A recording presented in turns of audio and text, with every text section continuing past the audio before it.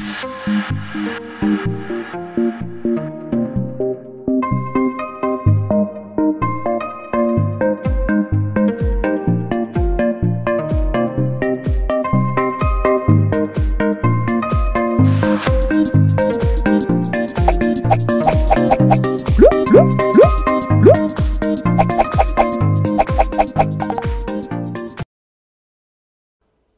ารบริการอาหารแบบขันโตก สามารถจัดบริการทั้งในสถานที่ภายในอาคาร และนอกอาคาร ขึ้นอยู่กับความต้องการของเจ้าภาพ ส่วนใหญ่นิยมเลือกสถานที่ที่มีบรรยากาศโล่ง โปร่งกลางแจ้ง เช่น สนามหญ้า ลานวัด ขวงศิลปะ ขวงบ้าน สวนสาธารณะเป็นต้น แต่ถ้าเป็นอาคารต้องเป็นอาคารขนาดใหญ่ เช่นหอประชุม ศูนย์แสดงศิลปะ ศาลาวัด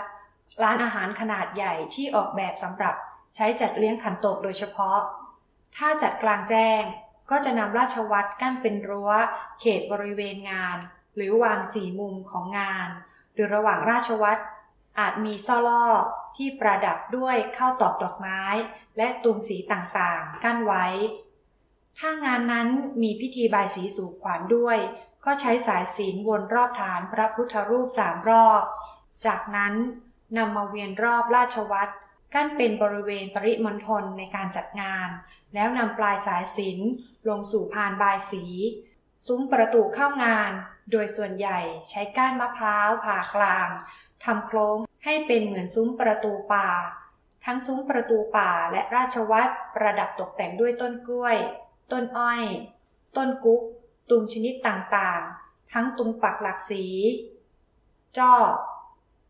และตุงแขวน รวมถึงโครงแขวน โครงประทีปนอกจากนี้ยังมีประทีปโคมไฟที่ใช้เทียนไข หรือใช้น้ำมันก๊าซใส่ในกระบอกไม้ไผ่ แล้วทำไส้ขึ้นมาเพื่อจุดเหมือนตะเกียง ใช้ปักรอบราชวัตรที่ใช้เป็นสถานที่จัดเลี้ยง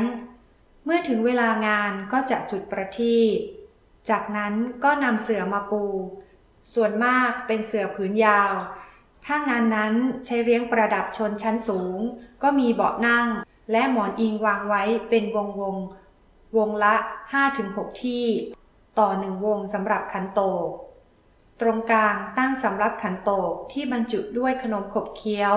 เมี่ยง บุหรี่ขี้โย เป็นของว่างก่อนถึงมื้อหลัก ข้างๆโต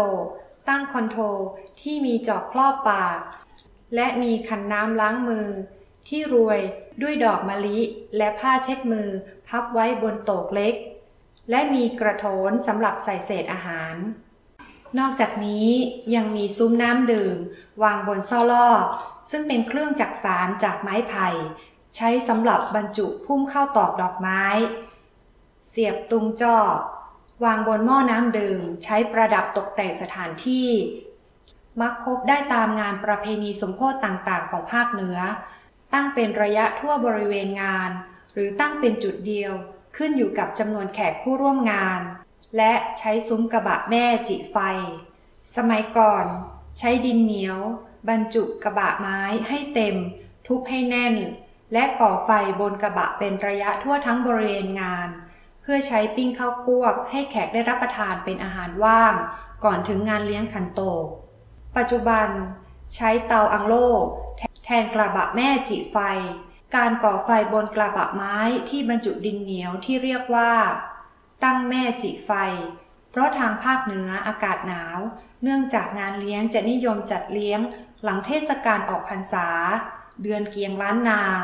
กลางเดือน 11 ซึ่งเข้าสู่เทศกาลทอดกระถิน จนถึงเดือนยี่เปงหลังจัดงานยี่เปงแล้ว กิจกรรมส่วนใหญ่ เป็นเทศมหาชาติและลอยกระทง งานผ้าป่าสามัคคี งานฉลองวิหารโบสถ์กำแพงวัด งานตาลเข้าใหม่ ปอยหลวง งานเหล่านี้มักจัดเลี้ยงขันตกต้อนรับเจ้าภาพที่มาทอดกระถิน หรือเจ้าภาพงานปอยต่างๆ ซึ่งอยู่ในช่วงเดือนเกียงหรือ ถึงเดือน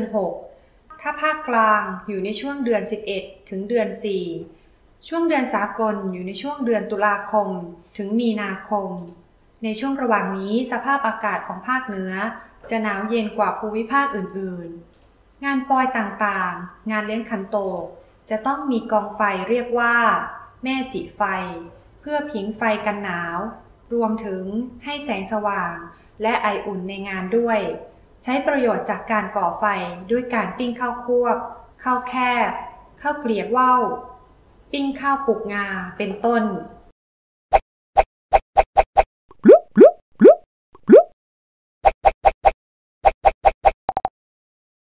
เวทีการแสดง เวทีการแสดงจัดเป็นสองส่วน คือ เวทีการแสดงและเวทีนักดนตรีกับช่างซอ ส่วนใหญ่จะประดับตกแต่งเช่นเดียวกับซุ้มประตูเข้างาน มีต้นกล้วย ต้นอ้อย ต้นกุ๊ก จ้อตุง ตุงปัก ตุงแขวน โครมแขวน โครมประทีปและมีซ่อล่อที่มีเข้าตอกดอกไม้ประดับด้วย ฉากเวทีอาจใช้ผืนผ้าทอ และมีป้ายชื่องาน มีดอกไม้ประดับรอบเวที ถ้างานนั้นมีพิธีบายสีสู่ขวัญ จะใช้เวทีการแสดงจัดวางพระพุทธรูป และเครื่องบายสี พร้อมอาหารคาวหวานที่ใช้ในงานเลี้ยงทั้งหมด เมื่อจัดเตรียมพร้อม พ่ออาจารย์ ปู่จานทำพิธีสู่ขวัญผูกข้อมือ แล้วจึงเป็นกิจกรรมการแห่ขันโตกตามลำดับสำหรับบรรยากาศแบบเดิมๆที่น่าประทับใจของงาน คือมีแสงสว่างบนเวทีจากตะเกียง หรือแสงเทียนบนโตกมีการจุดเทียน 1-2 เล่ม ให้พอมองเห็นหน้ากันเท่านั้น บนเวทีมีการจัดตกแต่งประดับให้เข้าบรรยากาศล้านนา และมีวงดนตรีที่อยู่มุมหนึ่งของเวที บรรยากาศงานเลี้ยงขันโตกในปัจจุบัน นิยมใช้ไฟฟ้าประดับตกแต่งมากขึ้น